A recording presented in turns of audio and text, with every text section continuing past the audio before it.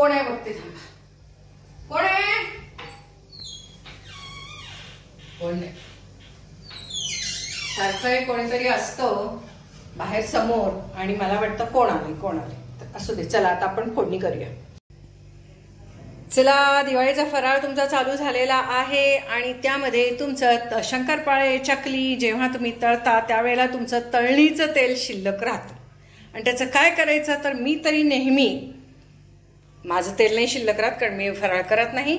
पण नॉर्मल मला फोडणी ही मी तयार करून ठेवते आणि तुमच्यापैकी खूप जण मला विचारतात की कशी करता एकदा दाखवा. मी खूप वेळा दाखवलेली आहे. दहा दहा दिवस सुद्धा ही फोडणी टिकते. पण तुमच्या घरात कशी टिकेलो हो? मी स्वयंपाक करत नाही म्हणून माझ्याकडे दहा दिवस टिकते. तुमच्याकडे नाही टिकणार. तुमच्याकडे दोन दिवसातच संपून जाईल काहीतरी गेलं डोळ्यात बघा आता. तर ठीक आहे. तर मी आता फोडणी कशी करायची? तळणीचं तेल तुमचं. बरं का मी माझ्याकडचं फ्रेश तेल वापरणार आहे आणि त्याची फोडणी करून ठेवणार आहे. मला पुढे आठ दहा दिवस ती पुरते. मग ती का करता कशासाठी करता ताजी का करत नाही हे प्रश्नाला उत्तर ऑलरेडी मी कमेंट बॉक्समध्ये भरपूर दिलेली आहेत. तर आता फक्त तुम्ही तळणीच्या तेलाची फोडणी कशी करून ठेवायची एवढंच बघा. आणि अशी फोडणी तयार करून ठेवा म्हणजे तेलही तुमचं वाया जात नाही. दुसऱ्या दिवशी जेव्हा तुम्ही आमटी भाजी जेव्हा जेव्हा करणार आहे त्यावेळेला तुम्ही सगळं घालूनच ठेवायचं जेव्हा तुम्ही प्रिपेअर करायला ठेवणार तेव्हा. वेगळं तेल काही तापवत नाही आपण पुन्हा. गार तेल वापरायचं बेस्ट होत असतं. आणि काही प्रश्न असतील तर कमेंट बॉक्समध्ये येऊ देत. तोपर्यंत आता मी फोडणी पहिलं दाखवते तुम्हाला. मी मस्तपैकी तेल तापायला ठेवलेलं आहे. इथे फोडणीचा दाण्याचा डबा जशी तुमची घरची फोडणी असते तसंच करायची आहे ही फोडणी. शेंगदाणे या फोडणीला बेस्ट लागतात मला आवडतातच. लाल मिरची घेतलेली आहे मी आणि भरपूर सारा कढीपत्ता. तर आता आपण यामध्ये सुरुवातीला प्रथम फोडणीचे दाणे टाकून बघूया. अजूनही फोडणी गरम झा तेल गरम झालेलं नाही. चला हे फोडणीचे दाणे उडायला सुरुवात झालेली आहे. तर आता याच्यात प्रथम मी भरपूर सारे शेंगदाणे टाकून घेते. भरपूर सारे शेंगदाणे टाकलेले आहेत आणि आता ह्याच्यानंतर मी याच्यात थोडंसे फोडणीचे दाणे अंदाज पंचे दहा टाकलेले आहेत. जिरं पण भरपूर सारं टाकत आहे. हे सगळं भरपूर सारं टाकायचं. आता यामध्ये आता आपण शेंगदाणे आधीच टाकलेले आहेत. आता आपल्याला यामध्ये टाकायची आहे. आता आपण पहिलं बंद करूया. कारण की तुम्ही नवीन असणार तर तुम्हाला हे सर्व जमणार नाही भराभरा करायला. तर आता आपण लाल मिरच्या टाकू याच्यात. वाळलेल्या मिरच्या आहेत त्या. ठीक आहे? आता आपण ह्याच्यामध्ये भरपूर सारे हळद टाकू. भरपूर सारी. कारण एवढ्या तेलाला जास्तच लागणार ना?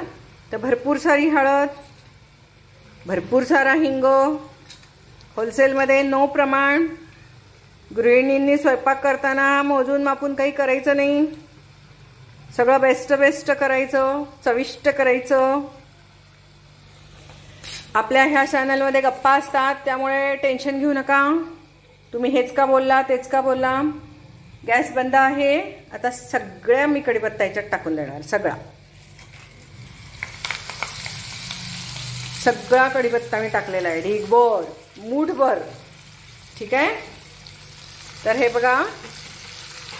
आता तेल खूप छान गरम आहे.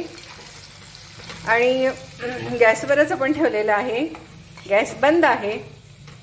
आणि यामध्ये असा हा कडीपत्ता टाकून दिलेला आहे. आता ही आपली फोडणी तयार आहे.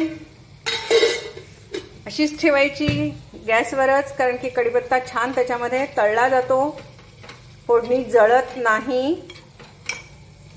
आणि तुमचं सगळं आता काम झालं की त्याच्यानंतर तुम्ही ही फोडणी उतरून बाजूला ठेवू शकता. आणि गार झाल्यावर वापरा गरम वापरा तुम्हाला कसं हवं तसं. तर आता तळणीच्या तेलाचं काय करायचं हे मी तुम्हाला सांगितलेलं आहे. तुमचं तळणीचं तेल जेव्हा तुम्ही चकली शंकरपाळी केल्यानंतर ते तेल उरलेलं असतं तेव्हा लगेचच त्याला अशी फोडणी घालायची. म्हणजे ते करून ठेवलेलं आहे आणि त्याच्यानंतर थोड्या वेळाने गार झाल्यावर पुन्हा गरम करून फोडणी करणार. तर तसं न करता तळणीचं तुमचं काम झालेलं आहे तेल भरपूर उरलेलं आहे. आता तुम्हाला त्याचं काहीच करायचं नाही आहे तर त्यावेळेला अशी त्याची फोडणी करून ठेवायची. पुढचे आठ दहा दिवस तरी त्याला काहीही होत नाही. तर तुम्ही सुद्धा आता अशी ही फोडणी करून ठेवाल. नक्कीच. एन्जॉय रेडीमेड फोडणी. इन्स्टंट फोडणी.